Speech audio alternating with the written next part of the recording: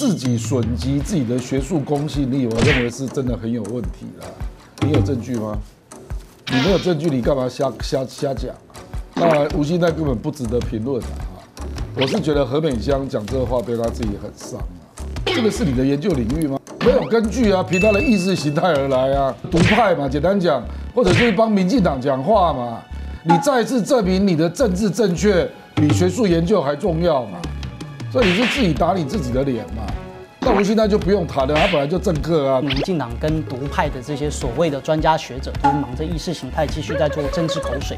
在独派的学者，大陆的菌，那就是他自己自己来的啊。那台湾的菌就是对岸来的，抹黑跟泼脏水而已。